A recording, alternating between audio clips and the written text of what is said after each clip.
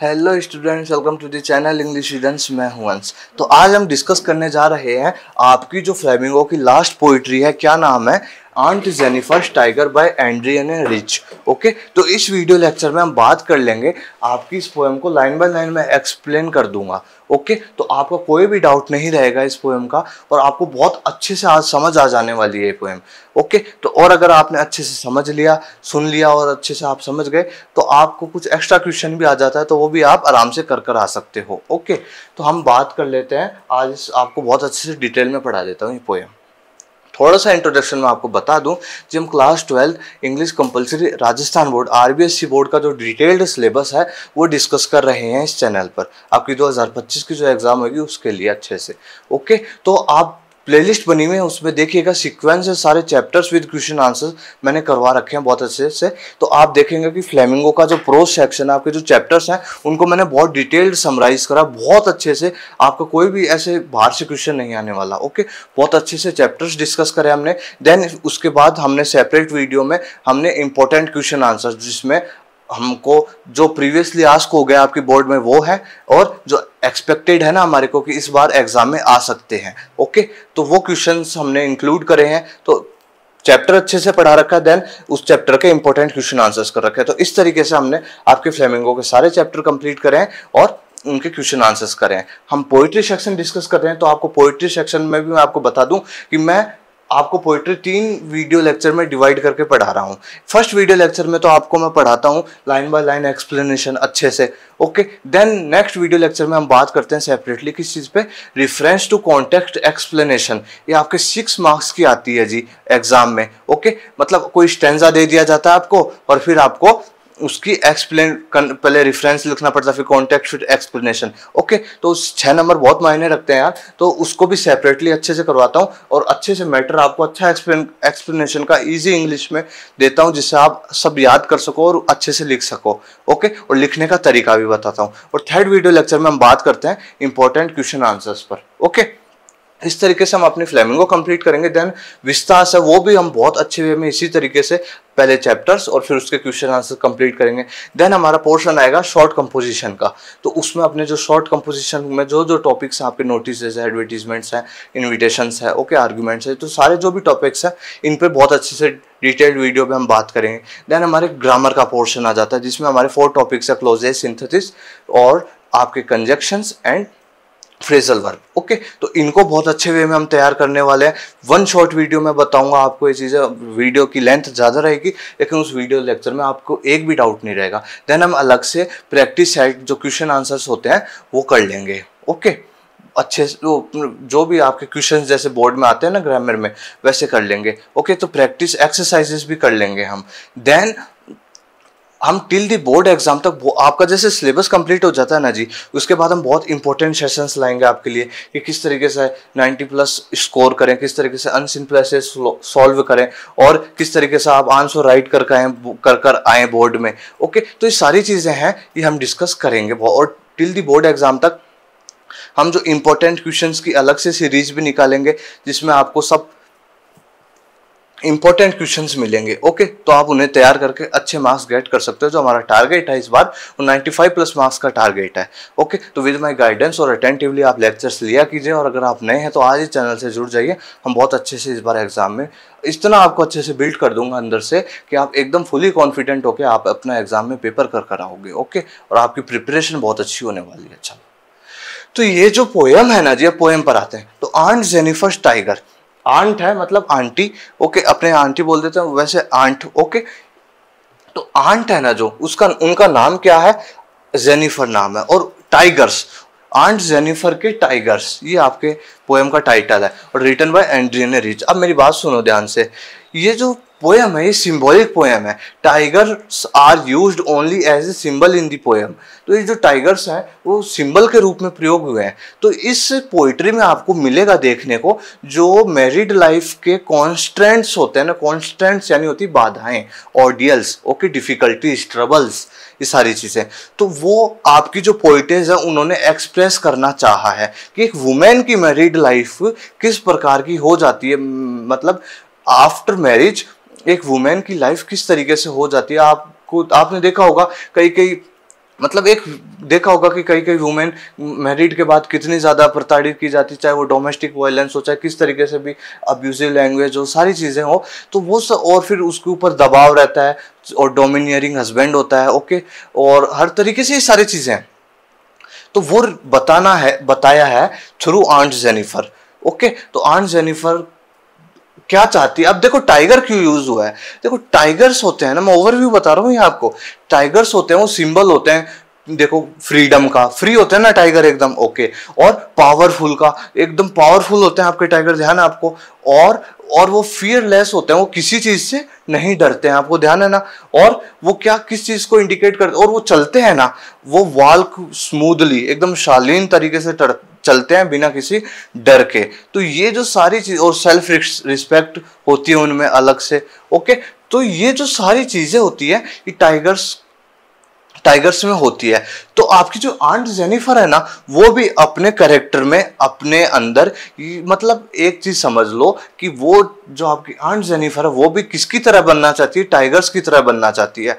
वो भी फ्री होना चाहती है। वो भी एकदम फियरलेस होना चाहती है, किसी भी लोग, किसी से भी नहीं डरना चाहती, वो एकदम पावरफुल बनना चाहती है, वो विद कॉन्फिडेंस एकदम कॉन्फिडेंस रहे, एकदम उनके अंदर। और ये जो, और ये सारी चीज़ें होती है ना जो टाइगर में होती है, वो सारी चीज़ें उन्होंने वो खुद भी बनना चाहती है। ठीक है? तो समझ में आ गया आपको? तो उन्होंने क्या करा है? एक पैनल स्क्रीन या फिर कर्टेन हमारे यहाँ स्क्रीन वर्ड यूज़ हुआ है और एक पैनल वर्ड यूज़ हुआ है। तो आपको मानना क्या है देखो कि कोई कर्टेन यानी पर्दा या फिर किसी किसी रुमाल पर या कोई भी क्लोथ हो सकता है, ठीक है? कपड़ा हो सकता है, उस पर एम्ब्रॉयडरी कर कर उन्होंने क्या बनाए हैं? टाइगर्स बनाए हैं।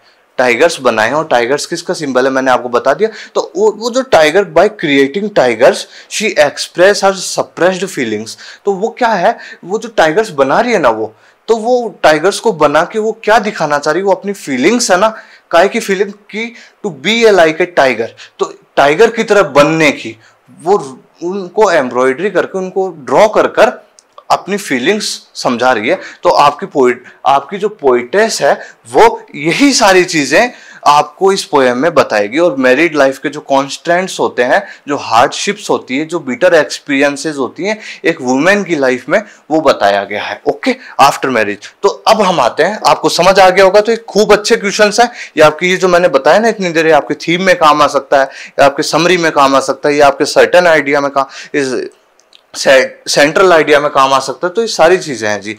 मैसेज मैसेज में काम आ सकता है तो आराम से, अच्छे से समझ लिया आपने। अब हम बात करते हैं आपकी पोएम पर।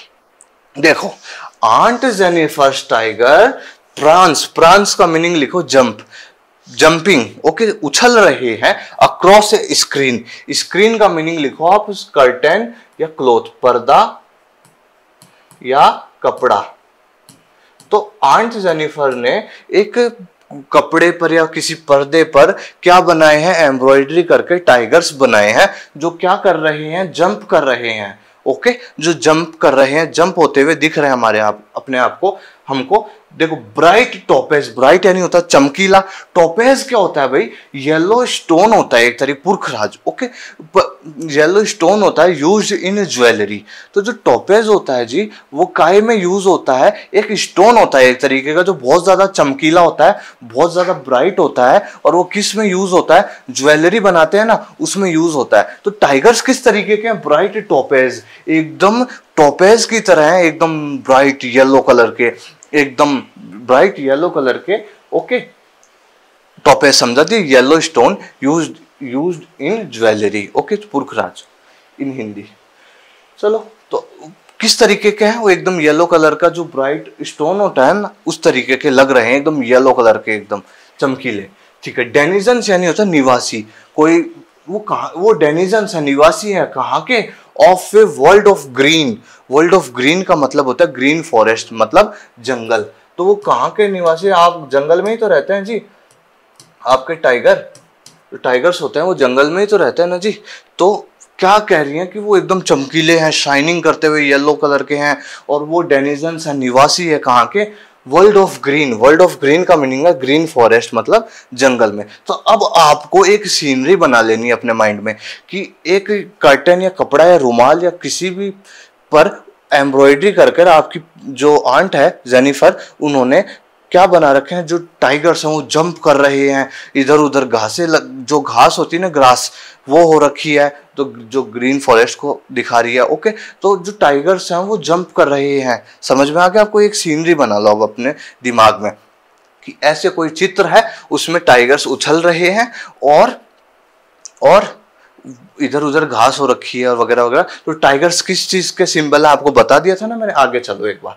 They do not fear of man beneath the tree beneath यानी होता है अंडर ओके तो जो टाइगर्स होते हैं किसी से डरते हैं क्या? नहीं डरते ना? तो ये कह रही है कि they do not fear of man भाई, जो टाइगर्स होते हैं ना, वो किसी से भी नहीं डरते हैं। चाहे वो पेड़ के नीचे खड़ा हुआ आदमी ही क्यों ना मतलब कहने की बात यह है कि ह्यूमन बींग से भी ह्यूमन बींग से भी जो टाइगर्स होते हैं, वो नहीं डरते हैं। फियरलेस होते हैं टाइगर पावरफुल होते हैं टाइगर्स समझ में आता है ना आपको? ओके देख, पैस पैस ये नहीं होता, भाई रन फास्ट तेज़ी से भागते हैं। अब इमेज बना लो ओके उस सीनरी के जो आपने चित्र अपने माइंड में बनाया ना कि उछल रहे हैं और दूसरा बना लो कि तेज़ी से भाग रहे हैं स्लीक यानी होता है जी शाइनिंग वेल ग्रूम्ड मतलब स्लीक है वो। उनका थोड़ा सा अपीरियंस टाइप बताए कि बहुत ज़्यादा येलो भी शाइन एकदम और बहुत अच्छे तरीके से शाइन कर रहे हैं, चम चमक रहे हैं येलो कलर में और वेल ग्रूम्ड मतलब बहुत अच्छे से उनकी हेल्थ भी है और उनका जो डिज़ाइन वगैरह और जो भी चीज़ें उनकी ओके स्ट्रक्चर वो सारी चीज़ें एकदम अच्छी हैं। तो ओके शिवैलरिक, वो शौर्य से भरे हुए हैं। शौर्य, तेज समझते हो ना आप? ऑनरेबल ओके बहुत ज़्यादा ऑनरेबल है और शौर्य से भरे हुए हैं वो। ओके स्ट्रांग है एकदम। सर्टेनिटी यानी मीनिंग होता है निश्चितता, लेकिन यहाँ पे सर्टेनिटी का मतलब है कॉन्फिडेंस और वो क्या है उनके अंदर? कॉन्फिडेंस है। तो ये बताइए कुछ क्वालिटीज ओके वो येलो कलर के हैं, वो मैं, जो ह्यूमन बीइंग है, उनसे डरते नहीं है। तेज़ी से भागते हैं शाइनिंग है वेल ग्रूम्ड हैं और ऑनरेबल शौर्य से भरे हुए हैं, तेज से भरे हुए हैं स्ट्रांग होते हैं बहुत और विद कॉन्फिडेंस भरे पड़े हैं कॉन्फिडेंस से। तो ये जो टाइगर उन्होंने बनाई हमारे को उसकी थोड़ी सी क्वालिटी बता रही है। ओके तो टाइगर किस चीज़ के सिंबल है? पावरफुल के फियरलेस के फियरलेस होते हैं वो। ओके और वो बहुत ज़्यादा फुल ऑफ़ कॉन्फिडेंस होते हैं। They do not fear of man human being से भी नहीं डरते हैं भाई, वो किसी से भी। तो ये सारी चीज़ें हैं ना, ये उन्होंने एज ए सिंबल यूज़ करी है। अब पोइटेस पोइटेस क्या बताना चाह रही है कि जो आंट जेनिफर है, वो भी किन की तरह बनना चाहती है? टाइगर्स की तरह बनना चाहती है। बिकॉज़ आफ्टर हर मैरिज उनकी हालत खराब मतलब एक तरीके से बहुत बुरी, एक पिटिएबल कंडीशन हो गई, दयनीय स्थिति हो गई उनकी मैरिज मैरिड जो मैरिज के बाद ओके तो ये चीज़ वो जो ड्रॉ कर रही है ना तो वो अपनी भावना व्यक्त कर रही है एक तरीके से कि she also wants to be a like a tiger तो वो भी एक टाइगर की तरह बनना चाहती जो चीज़ें हैं ना। अब देखो, ये तो टाइगर की क्वालिटी और वो किस तरीके की टिमिड है, वो वीक है, वो ओल्ड है और वो डरती हैं चीज़ों से। वो अपने हस्बैंड डोमिनियरिंग जो हस्बैंड होता है, उससे डरती है, उसके दबाव में रही है वगैरह वगैरह सभी हमारे को कनेक्ट करना है अच्छे से। वॉयलेंट सहा है उन्होंने, वगैरह वगैरह सब। Okay okay? उनको अपनी कोई भी राय वगैरह या फिर फ्रीडम नहीं थी और टाइगर और तो अब समझ में आ गया कॉन्ट्रास्ट आपको? कंपैरिजन समझ आ गया? ठीक है। अब सुनो। Aunt Jennifer's टाइग fingers fluttering through her wool wool यानी वो होता है ना जो वून वाला जो होता है ना गोला टाइप का, जिसमें खूब सारे धागा होता है, जिससे हम वूवन करते हैं मतलब बुनते हैं किसी भी चीज़ को तो वुल वो होता है। देखो फ्लटर यानी होता है ट्रम्बलिंग काँप रहे हैं। उनके जो हाथ है ना, वो शेक कर रहे हैं जी, वो क्या हो रहे हैं, काँप रहे हैं बुरी तरीके से। Aunt Jennifer's finger fluttering through through her wool अब वो जो एम्ब्रॉयडरी कर रही है ना एम्ब्रॉयडरी कर मतलब वो टाइगर्स बना रही है तो उनके जो हाथ है ना, भाई वो फ्लटरिंग हो रहे हैं, काँप रहे हैं, ऐसे हिल रहे हैं शेक हो रहे हैं okay find even the ivory needle hard to pull pull यानी मतलब पकड़ना, यहाँ पे पकड़ना समझो आप। देखो आइवरी यानी क्या होता है? हाथी का दांत होता है ना, हाथी के दांत से बनी हुई नीडल सुई ओके हाथी के दांत से बनी हुई सुई है ना, उस वो भी उनको बहुत मुश्किल से पकड़ी जा रही है उनसे। ओके, वो जो ड्रॉ कर रही है तो किससे ड्रॉ कर रही है? आइवरी नीडल हाथी के दांत की बनी हुई एक नीडल है, उससे ड्रॉ कर रही है तो हम देख, हमको देखने को मिलता है वी फाइंड क्या? उनके हाथ है, वो काँप रहे हैं इस तरीके से। वो ट्रेम्बल हो रही है, वो शेक हो रहे हैं उनके हैंड्स क्यों हो रहे हैं? समझना. The massive weight of uncle's wedding band okay जो उन मैसिव वेट मैसिव यानी होता है भाई हैवी हैवी यानी भारी वेट यानी वज़न okay of uncle's wedding band band यानी मतलब आप रिलेशन समझ लो रिश्ता ओके अब मेरी बात सुनना। Sits heavily upon aunt Jennifer's hand ठीक है? तो ये जो शादी का जो मेन है जो उनके अंक, अंक देखो वो आंट है तो ये अंकल तो ये इनके हस्बैंड है। ठीक है? तो इनकी जो शादी है ना अंकल से इनके हस्बैंड से हुई हुई जो शादी है, वो एक हैवी बर्डन है इनकी लाइफ में ओके रहा हमेशा से, एक हैवी बर्डन रहा इनकी लाइफ पे। इनका जो वेडिंग बैंड एक हो जाता है शादी का बंधन ओके तो एक तरीके से इनके हस्बैंड और इनकी जो मैरिड लाइफ है, इनकी जो मैरिड लाइफ है, वो अनहैप्पी रही है। और she remembers her harsh and bitter ये चीज़ें लिखना आप आंसर में okay bitter experiences of her married life. Okay married life देखो, वो रिमेंबर करती है क्या? अपने हार्श मतलब बुरे पेनफुल एंड बिटर बिटर यानी बहुत दर्द ना दर्द से भरे हुए, कड़वे experiences of her married life मतलब उनकी जो मैरिड लाइफ थी, हमको क्या देखने को मिला इससे कि उनकी मैरिड लाइफ अनहैप्पी रही। अनहैप्पी रही, वो बिल्कुल खुश नहीं रही जी अपनी मैरिड लाइफ में। बहुत ज़्यादा कठिनाइयों से, बहुत ज़्यादा बर्डन से, बहुत ज़्यादा अपने हस्बैंड के मेल डोमिनियरिंग होने की वजह से, दबाव की वजह से डोमेस्टिक वायलेंसेस की वजह से, जो भी सारी चीज़ें हो, आपको समझनी है ये ओके तो उनको कभी भी फ्री नहीं हुई वो। वो हैवी बर्डन में रही। उन्होंने खूब सारे गंदे गंदे एक्सपीरियंसेस लिए अपनी लाइफ में। तो एक तरीके से जो उनकी मैरिड लाइफ है ना, वो एक मैसिव वेट है। एक तरीके से वो हैवी वेट है उनकी लाइफ पर, उनकी ज़िंदगी पर। ओके सिट्स अप तो अब वो जो वो नीडल से वो जो बना रही है ना टाइगर्स को जो हा, हाथी के दांत से बनी हुई जो नीडल है उससे बना रही है ना तो उनके हाथ क्यों काँप रहे हैं? She remembers her harsh and bitter experiences of her married life वो अपने जो मैरिड लाइफ के जो जो जो उनके साथ हुआ ना सब गंदा सब और पीड़ाएँ उन्होंने सही और जो चीज़ें वो याद कर रही है तो याद करते हुए जो उनके हाथ है ना वो काँप रहे हैं। इसीलिए उन्होंने टाइगर्स को बना रही क्योंकि वो टाइगर्स की तरह बनना चाहती थी अपनी लाइफ में।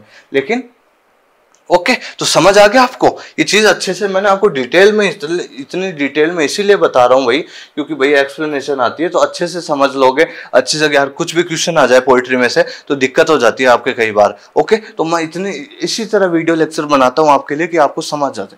चलो अब ये थर्ड स्टेंस आपका, ये लास्ट स्टेंस है। देखो वेन आंट इज़ डेड अब सुनना मेरी बात।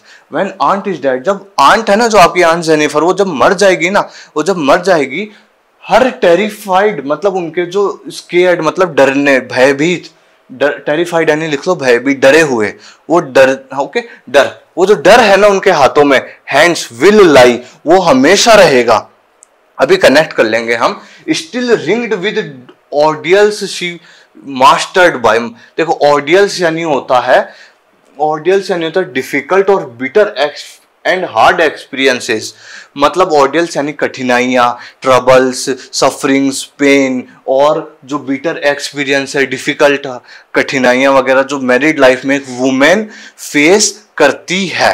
समझ में आ गया आपको? ऑडियंस का ये मीनिंग लिख लीजिएगा आप। मास्टर्ड बाय का मीनिंग लिखोगे आप। क्या मीनिंग लिखोगे? कंट्रोल्ड बाय मतलब कंट्रोल हुई है हमेशा वो। कंट्रोल्ड हुई है। किससे कंट्रोल हुई? अपने हस्बैंड से कंट्रोल्ड हुई है वो हमेशा। ओके चलो स्टिल रिंग्ड अब ये बता रहे हैं आपकी पोइटस बता रही है कि जो आंट जेनिफर है ना, वो मरने के बाद भी टेरिफाइड रहेगी, डरी हुई रहेगी हमेशा और स्टिल रिंग्ड रहेगी। मतलब स्टिल रिंग्ड मतलब जो शादी की जो अंगूठी पहनाई हुई तो शादी का जो सिंबल है तो वो हमेशा शादी के बंधन में ही स्टिल रिंग्ड यानी आप समझना, शादी के बंधन में ही बंधी रहेगी, हमेशा आफ्टर डेथ इवन मरने के बाद भी वो अपने जो बिटर विद ऑडियल्स जो अपने बीटर हार्श जो गंदे गंदे, जो जो पीड़ाएँ सही है, जो भी एक्सपीरियंसेस हुए हैं उनकी लाइफ में मैरिड लाइफ में, जो जो उन्होंने सहा, देखा, हुआ उनके साथ तो वो इवन आफ्टर हर डेथ उनकी मृत्यु के बाद भी है ना वो डरी हुई रहेगी हमेशा। Her terrified hands will lie हमेशा डरे हुए रहेंगे उनके हाथ और किस तरीके से रहेंगे, वो शादी के बंधन में ही बंधी रहेगी। और वो क्या किन चीज़ों में घिरी हुई रहेगी? ऑडियल्स में। वो जो हार्ड बिटर एक्सपीरियंसेस हुए हैं ना, उनकी मैरिड लाइफ में, जो जो उन्होंने सहा, जो जो उनके साथ हुआ, वो सारी चीज़ें किस, जो मास्टर्ड बाय जिस तरीके से वो कंट्रोल्ड हुई है अपने कंट्रोल हुई है अपने हस्बैंड से, किस तरीके से तो ये सारी चीज़ें उनकी आफ्टर हर डेथ भी वो इसी तरीके से रिमेन रहने वाली है। इसी तरीके से रहने वाली है वो। ओके समझ में आ गया अब आपको ये चीज़?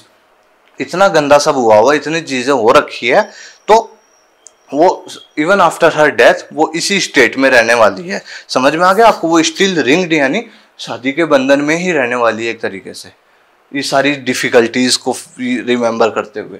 चलो the tiger in the panel panel यानी वही, आप समझ लो बोर्ड मतलब कोई भी पर्दा या कर्टन यानी पर्दा क्लोथ ओके किसी भी स्क्रीन मान लो, कोई भी बड़ा चार्ट मान लो आप और या फिर कोई कर्टन मान लो, पर्दा मान लो या क्लोथ मान लो। लेकिन जो टाइगर्स उन्होंने जो उस पैनल पे बनाया ना, जो एम्ब्रॉयडरी करके, वो जो टाइगर्स बना रही थी दैट शी मेड जो बना रही थी वो will go on prancing prancing यानी होता है जंपिंग ओके वो यूँ ही हमेशा जंप करते रहेंगे proudly okay P R O U D L Y proudly proud and unafraid fearless अब ये बता रही है आपकी पोइटेस कि देखो, क्या, कि आपकी जो वो तो वो तो हमेशा ऐसी रहेंगी आंट जेनिफर लेकिन वो जो उन्होंने टाइगर्स बना दिए ना एम्ब्रॉयडरी करके जो बना रही थी ओके वो हमेशा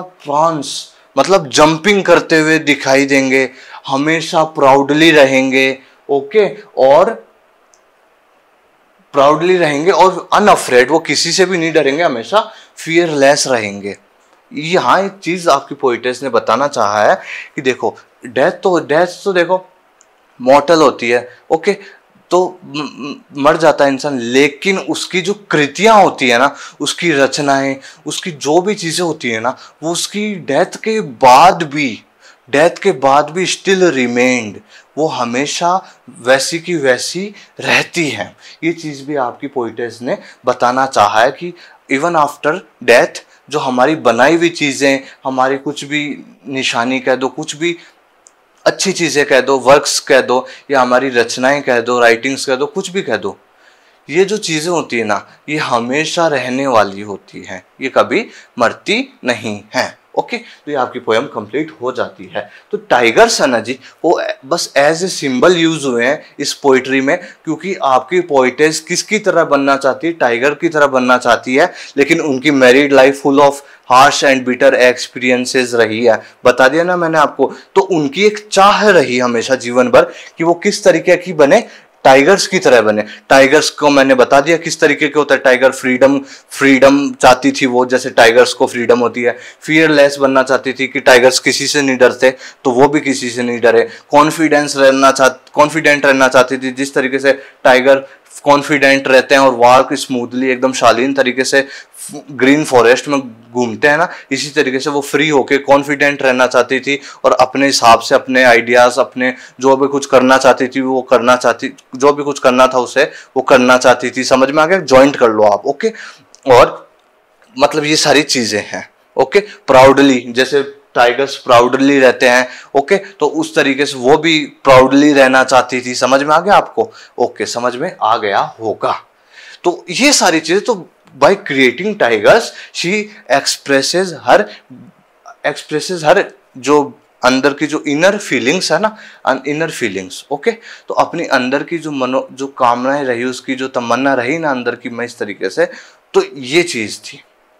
समझ में आ गया होगा आपको। बिल्कुल, कोई भी डाउट नहीं रहेगा। आप कमेंट सेक्शन में ज़रूर बताइएगा कि हाँ सर देखो वीडियो लेक्चर थोड़ा सा लंबा हो गया होगा, लेकिन मैंने आपको जो तीनों स्टैंड जिस हिसाब से पढ़ाए है ना, आप बहुत अच्छे से समझ गए हो।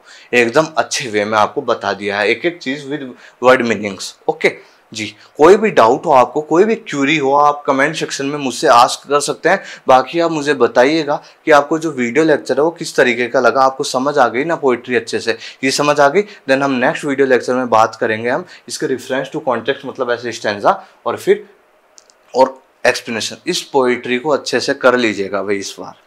इस बार चांस लग रहे हैं इस पोएम के आने के। मैं आपको पहले ही बता दूँ my mother at sixty six और ए थिंग ऑफ़ ब्यूटी और ये एंड जेनिफर टाइगर आपको ज़रूर मिलेगी आपके बोर्ड के पेपर में। ओके तो अच्छे से कर लेना इन तीन पोइट्री को तो प्लीज़ अच्छे से कर लेना। समझ में आ गया आपको? ठीक है? और बड़ा क्वेश्चन भी आ सकता है। ठीक है? चलो। तो अच्छे से समझ आ गया होगा आपको कमेंट सेक्शन में ज़रूर बताइएगा कि कैसा लगा वीडियो लेक्चर नहीं है तो आज ही चैनल सब्सक्राइब कर लीजिए आप। बहुत अच्छे वे में हम पढ़ाई करने वाले हैं। और और आपको डिस्क्रिप्शन में टेलीग्राम चैनल भी मिल जाएगा, उसको भी आप ज्वाइन कर सकते हैं। ओके तो आज का वीडियो लेक्चर यहीं कंप्लीट करते हैं। नेक्स्ट वीडियो लेक्चर में इसका रेफरेंस टू कॉन्टेक्स्ट बात करेंगे और देन हम इंपॉर्टेंट क्वेश्चन आंसर्स पे बात करेंगे। ओके क्लास ट्वेल्थ के स्टूडेंट्स हैं तो आज इस चैनल से जुड़ जाइए जी। मैं मिलूँगा आपसे फिर एक नए टॉपिक पे, नए वीडियो लेक्चर पे। बने रहिए मेरे साथ। Thank you very much